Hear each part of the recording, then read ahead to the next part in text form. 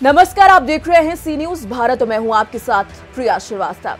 जो गरजता है, वो बरसता नहीं। क्या आपने ये कहावत सुनी है? अगर हाँ तो अखिलेश यादव ने इस कहावत को गलत साबित कर दिया है और बता दिया है कि अगर वो गरज रहे हैं तो वो बरस भी सकते हैं।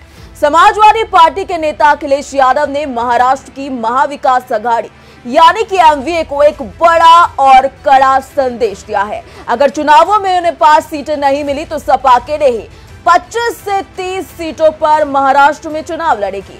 सपा फ़िलहाल पाँच सीटों पर अड़ी हुई है, जबकि एमवीए सिर्फ़ दो सीटें देने को ही तैयार है। ये स्पष्ट खींचतान एमवीए के लिए बड़ा संकट बन सकती है।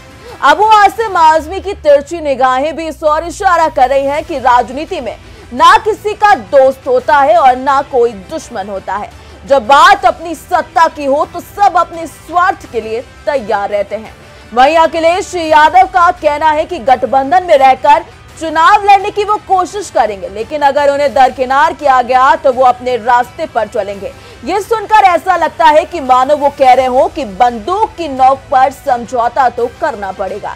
एमवी अगर उन्हें नकारती है तो अखिलेश यादव अपने वोटरों को एक नई दिशा में मोड़ने में संकोच नहीं करेंगे और एमवीए के लिए बन जाएँगे वोट कटवा।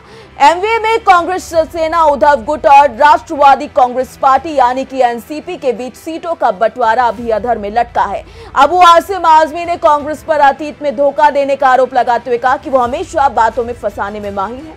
ये राजनीति का वो खेल है जिसमें कौआ चला, हंस की चाल के तर्ज पर कांग्रेस का पड़ना भारी पड़ सकता है। यानी कि पाला में काफ़ी ज़्यादा नुकसान उन्हें उठाना पड़ सकता है। वहीं महाराष्ट्र में अगर अखिलेश यादव नाराज़ होते हैं तो एमवीए गठबंधन से अलग होकर चुनाव लड़ते हैं तो गठबंधन को बड़ा नुकसान ज़रूर होगा। जिन लगभग 30 सीटों पर अखिलेश यादव के प्रत्याशी चुनाव लड़ेंगे, उसमें से वो भले ही जीत ना पाए, लेकिन वोट कटवा ज़रूर बन जाएँगे। महायुति का अपना वोट बैंक है, जो नहीं बटेगा। समाजवादी पार्टी शरद पवार की पार्टी एनसीपी और कांग्रेस के वोटर्स को ही काटेगी। ऐसे में फ़ायदा महायुति को ही होगा। अखिलेश यादव ने स्पष्ट कर दिया है कि वो किसी भी स्थिति में अपनी पार्टी के हितों की रक्षा करेंगे। अगर एमवीए ने उन्हें नजरअंदाज किया तो वो निश्चित रूप से वोट कटवा का खेल खेलेंगे। अब देखने वाली बात यह होगी कि इस राजनीतिक दंगल में कौन अपनी चाले बेहतर चला पाएगा और कौन राजनीति का असली खिलाड़ी बनेगा। फ़िलहाल इस खास रिपोर्ट में इतना ही। देश दुनिया की बाकी और खबरों के साथ जुड़े रहने के लिए आप देखते रहिए सी न्यूज़ भारत।